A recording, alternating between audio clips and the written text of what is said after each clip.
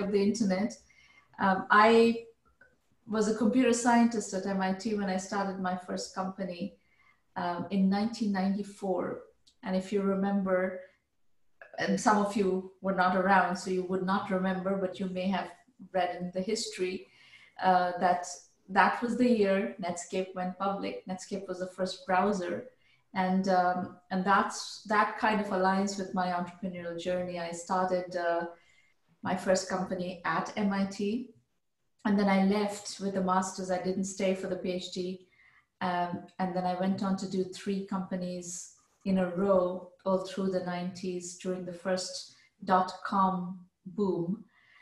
And um, two of those three companies were actually AI companies. So the first one, Intarka, was doing lead generation and qualification using artificial intelligence techniques. And um, I did all the software development work in India. It was one of the first ever product companies out of India to raise venture capital in Silicon Valley. And um, it was very difficult. I think uh, some 44 VCs said no before I got a venture capitalist NEA to say yes. So uh, at that time, the idea of doing development work in India was not yet popular or um, accepted. Of course, that changed within a few years, but at that time in history was very difficult. But uh, I, and in, in the AI cycle also, it was very uh, early. People were not yet ready to fund AI startups. So I had two things, two strikes against me, and in two uh, categories, I was too early. My third company was Uma, and that was personalized fashion. It was one of the first fashion e-commerce companies, if not the first fashion e-commerce company in the history of the internet. And the technology that we were using was personalization technology using AI. So um, I know a thing or two about AI from a computer scientist point of view. I also know a thing or two about AI from a business point of view. So I will in this talk, very quickly, I'm going to speak from the point of view of assuming that each one of you who are listening to this are interested in starting an AI venture of your own. And I will try to cover what do you need to do to achieve that. And there will be three broad segments that I will cover. First, I'll talk about the idea. How do you come up with an idea? What problem should you try to solve and what are the trends in the market. Secondly, I will talk about methodology and this is where how do you get your company going and this is where the bootstrapping techniques are vital and I will cover three key bootstrapping techniques. And thirdly, I will talk about some of the case studies that you can learn from that you can access through the 1 million by 1 million blog. 1M by 1M, as you know, is the first and only global virtual accelerator for startups. And, um, and we follow a case study based methodology. So we do have a lot of case studies of AI companies, AI startups, and so forth that you can learn a lot from.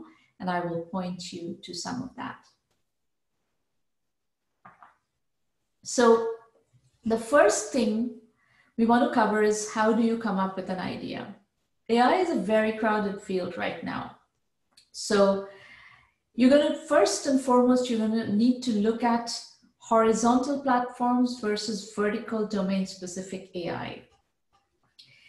Now, the big horizontal platforms are coming out of Google, IBM, um, Microsoft, and so on. So if you want to do as a startup a horizontal platform, I would argue that you need to have prior successful startup experience. If you are a first time entrepreneur trying to do an AI startup, I would caution you against going for horizontal platforms. Those are harder to build, a lot more expensive to build. And therefore, they require that you raise a lot more capital which is harder for first time entrepreneurs to do. And AI startups find it difficult to raise capital always because there's always the question does the AI work? So you're going to have to bootstrap your way to some level of validation, and we'll talk about that in a moment. But, but I would say in the debate between horizontal platform versus vertical domain specific solutions, my guidance to you would be to focus on the vertical solutions. Which brings you to the question, what domain should you be working on? Now, again, because it's a crowded field, there is activity going on in every domain of industry where AI is being applied. The question boils down to who are you? What is your particular domain specific expertise? What do you know? What insights do you know? And what unfair advantage do you have? And if you can articulate a particular domain and a particular problem that is an open problem in a domain where you have expertise, that is where it's a good idea to start something. Of course, you're going to have to do intense competitive analysis and positioning to figure out whether there is still a gap or not. So those are, um, you know, pieces of guidance on um, how to come up with an idea. I will give you one other pointer, uh, and this is to our blog case studies. Go to the 1M by 1M website. That's 1M by 1M.com. The number one, the letter M, by, the number one, the letter M.com, and go to the blog. On the left navigation panel of the blog, you will find artificial intelligence as one of the navigation topics. That leads you into the Thought Leaders in Artificial Intelligence series of interviews on the blog.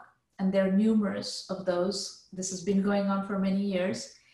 Every single interviewee that I have brought on, I have asked them this question What, from your vantage point, you are either an AI CEO or a founder of a, an AI startup, or you are somehow involved in doing some level of thought leadership from some vantage point at a larger company, so on and so forth. What are the open problems that you see around you from your vantage point? And they have answered those questions. So you will see answers to this question in every single interview from different industry sectors. We have AI in healthcare, we have AI in education, online education, we have AI in industrial automation, manufacturing, you know, all the different categories of AI uh, are have shown up in this thought leadership interview series and I have tried to extract pointers to open problems. So this is a good fertile ground for you to go look for an idea in. The idea is supremely important.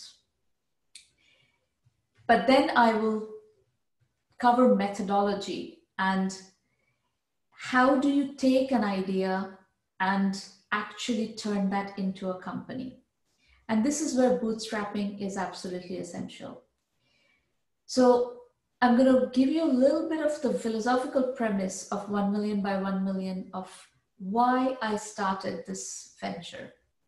In 2010, we launched 1 million by 1 million as an inclusive accelerator.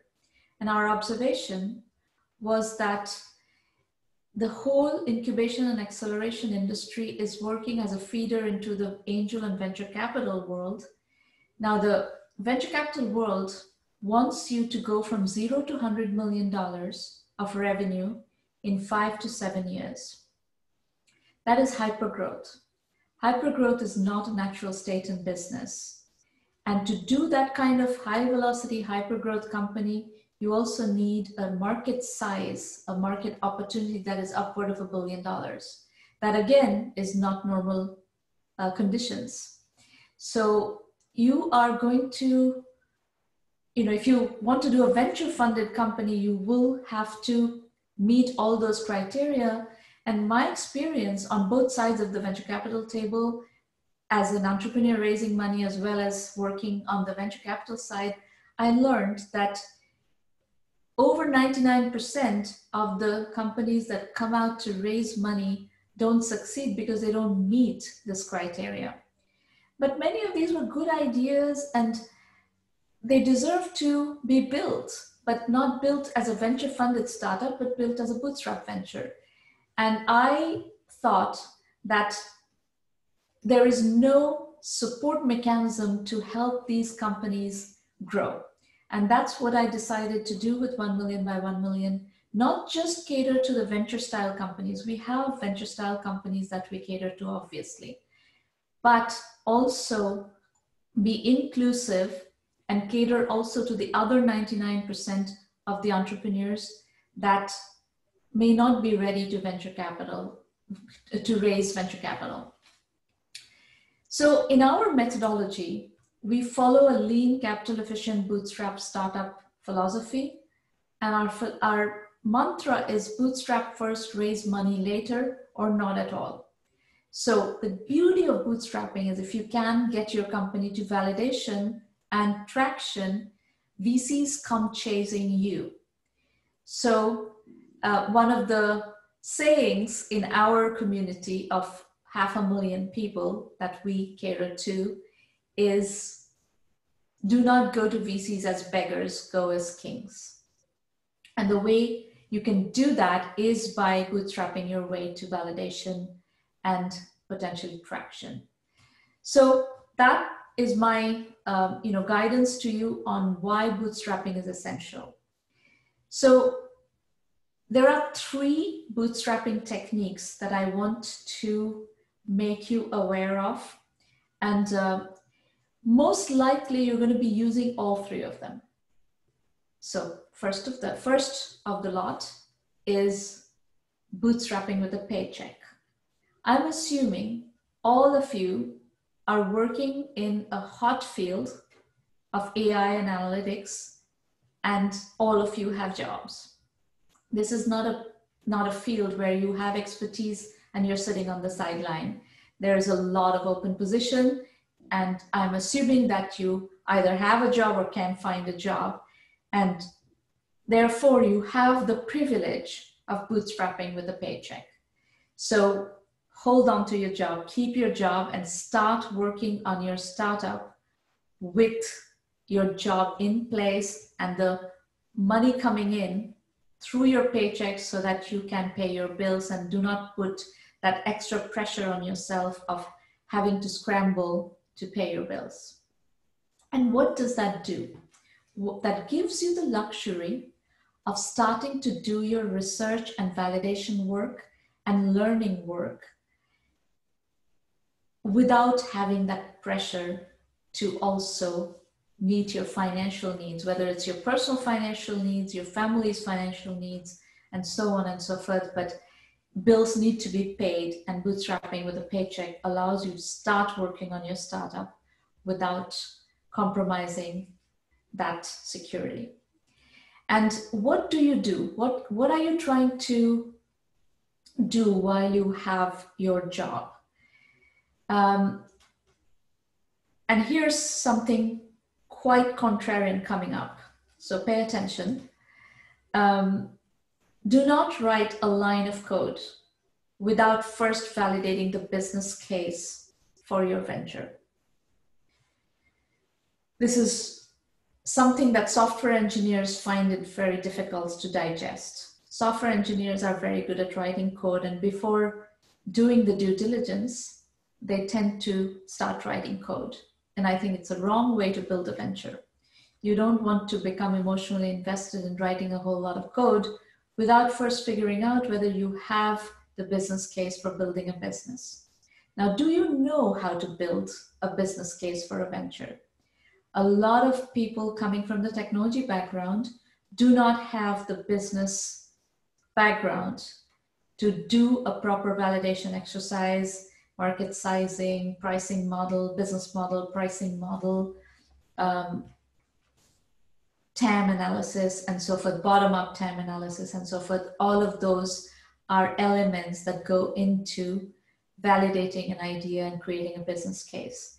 So I would suggest that you first also study some methodology um, of how to learn the process of business case development. So again, I'll give you a pointer to a free tool on the 1M by 1M website. Go to self assessment. It's a free tool, uh, questions that investors would ask you. I would like you to answer those questions yourselves about the idea that you're toying with. If you have multiple ideas, take each idea through this questionnaire and see what you're getting. If you get stuck on methodology elements, you can do 1M by 1M basic, which is our curriculum only option. Um, you can basically, it's a video lectures and case study based curriculum. You can access it from anywhere in the world. That's um, again available online. But however you do it, while you still have your job, try to understand, try to learn how to validate and create a business case for your business and apply that methodology to trying to assess your idea and validate your idea. So that's uh, that's my coverage of bootstrapping with a paycheck. The second thing that you need to learn is bootstrapping using services. One of the questions that AI entrepreneurs inevitably get, unless you're a second time entrepreneur, a third time entrepreneur, and the investors know you, is does your AI work? And how do you prove that your AI work? To do this, you need clients and you need data sets. So the second technique of bootstrapping that you would most likely end up using is bootstrapping with services. So you need to go find a client around your idea and have that client work with you in a services mode. So you need to convince this client that I have the expertise to solve your problem. And you know you have to level set that they have that problem and it's a problem that they want they really desperately want to solve and are willing to pay you to solve it. And you need to do a services contract so that they pay you a milestone up front as you start the project and then they pay you in milestones as you deliver what you said you would deliver in by, by way of a solution. And as you negotiate this contract you need to negotiate such that the intellectual property rights for doing the services project for a client remains with you. This IP is going to be what you're going to build your product business out of.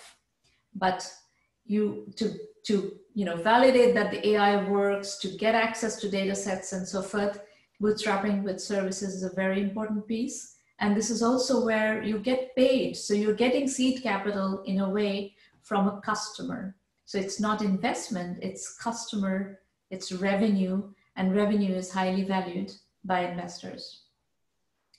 And it's going to be very helpful for you to not have to go chasing investors to uh, help you get your business out off the ground. So that's bootstrapping with services. I expect that you will be using both bootstrapping with a paycheck and bootstrapping with services in getting your company off the ground. The third technique is bootstrapping by piggybacking. And what you're doing here is trying to piggyback on a horizontal AI platform, which has covered most of the elements of the technology stack that are commodity so that you can ride on top of that and add your special sauce, you know, your unfair advantage, your domain knowledge as the final layer of AI on top of an existing stack. You know, bootstrapping by piggybacking has been a tremendously successful startup mechanism, including in Silicon Valley. I would encourage you to look at a company called Veeva. It's a multi billion dollar company that's uh, almost a billion dollar in revenue, and it's a healthcare IT company. This company was built on top of the Salesforce.com platform as a service technology. And all this company used was $4 million. And with that, they were able to build $600 million worth of revenue. And you know, they in, in course of that, they raised other money, but they didn't really need the money because they didn't have a highly capital intensive way of doing building this business. They took the company public and have been a legendary company in the Silicon Valley ecosystem and, and Salesforce.com's Force.com platform has been a tremendous spinner of this kind of bootstrapping by piggybacking companies. There have been many, Apttus, Vlocity, which Salesforce has bought recently, Map Anything. All of these case studies, by the way, are available on our blog and you can go study them. So, um, so decide which platform you want to ride on. And the other beauty of this bootstrapping of and by piggybacking strategy is the platform that you're building on tend to have app marketplaces and they, uh, their developer ecosystem managers would help you find leads and, and there's a lot of benefits to being part of a, a platform ecosystem of a larger company. Um, and this also often creates opportunities for exit down the line. So very, very productive, very um, effective way of bootstrapping. So again, I believe that in doing your AI st startup, you're going to have to use all three of these techniques, bootstrapping by, with a paycheck, bootstrapping by services, and bootstrapping by piggybacking. So I will conclude my commentary today by giving you some more pointers to AI case studies. Again, go back to the blog and uh, look up the PrecisionLender case study.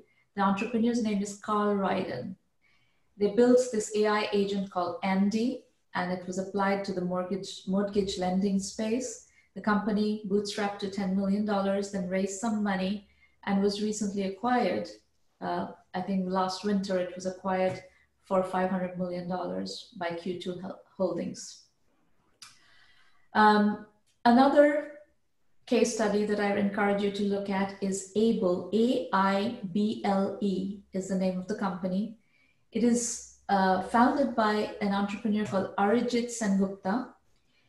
Um, Arijit is also the founder of Beyond Core, which is an our earlier AI startup that Salesforce.com bought. So this is somebody who's actually doing a horizontal AI platform, but he can do that. He can get away with that because he's an experienced serial entrepreneur with great track record. So it's a it's something that you would find interesting to look at how a horizontal AI platform is being built.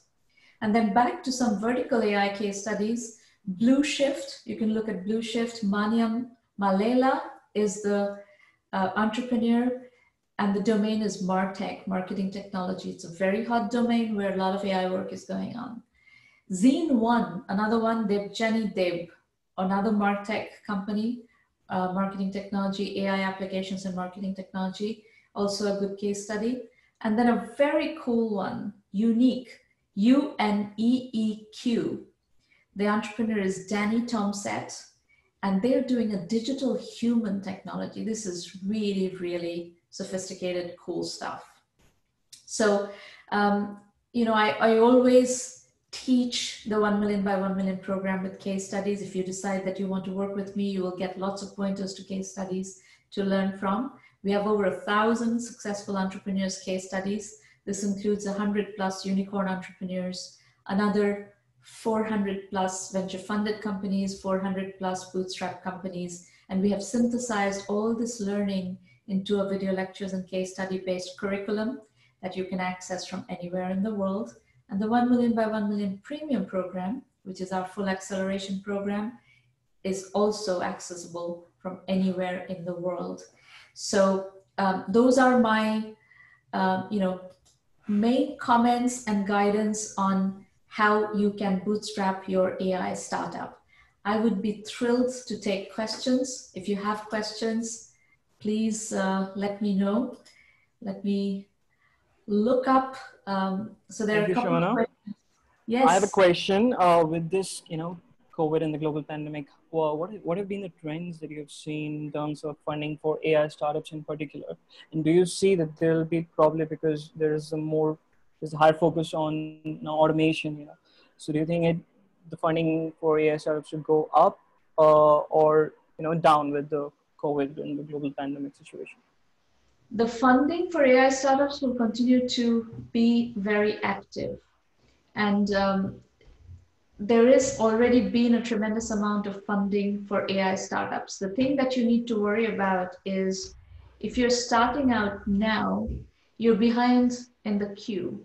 There are more mature startups out there, more mature AI startups that have more proof points, more customers, more revenues, and the investors are more interested in investing in those startups.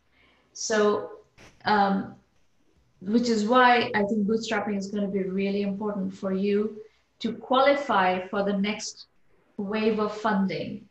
Um, you will be taken a lot more seriously if you have proof points and if you can show that your AI works and that you have customers who have validated your um, AI venture. Now, uh, where can AI entrepreneurs, you know, find value? Like to solve a business problem, they also need to know a lot about business. Uh, you know, because a lot of the solutions are, uh, you know, they, are more focused on uh, solving a particular business problem, and you know, the SaaS products are there.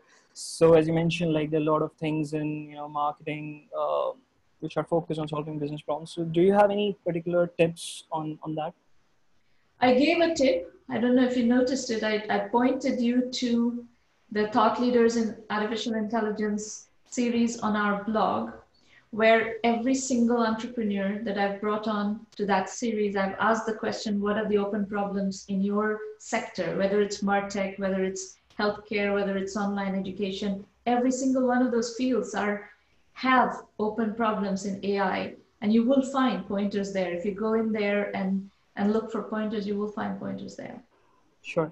Uh, asks, especially with AI, compute power is essential for new ideas. How can a start, startup afford to develop a proof of concept without shelling millions of dollars for computation?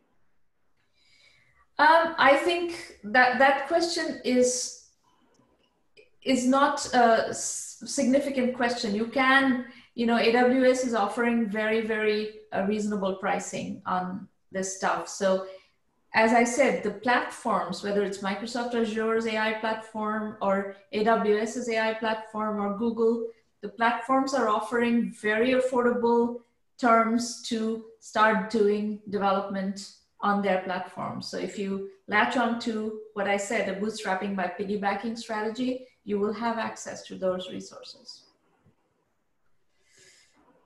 also uh, should a startup also like look for an open source strategy especially for artificial intelligence?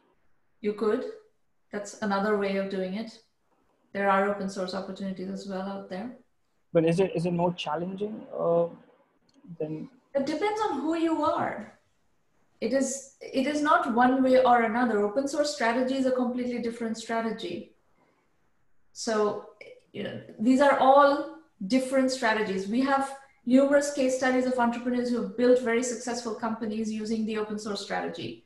We also have numerous examples of companies who have built businesses in a non-open source strategy. So it really, it's hard for me to give you a blanket answer. It's very case specific, it's domain specific. Mm-hmm. What's happening in your domain? If your domain is very crowded in a particular, um, you know, in solving a particular problem, maybe there's a gap in the open source. Maybe you can open source it and get uh, an angle to enter that market. So I can't answer that question in, you know, in a generic way, but if you start doing the research, that answer will emerge and I can help you get to that answer through the work that we do.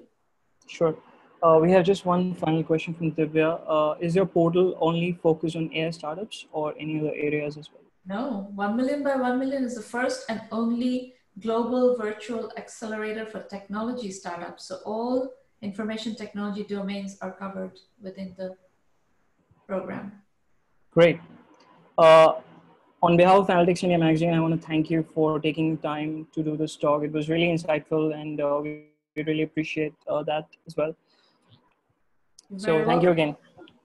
Bye-bye. Great. Take so with this, uh, we come to the end of the day one of Rising 2020. I hope uh, that NDs had a lot to learn and we'll see you tomorrow with the new talks from our powerful women speakers and see you tomorrow then.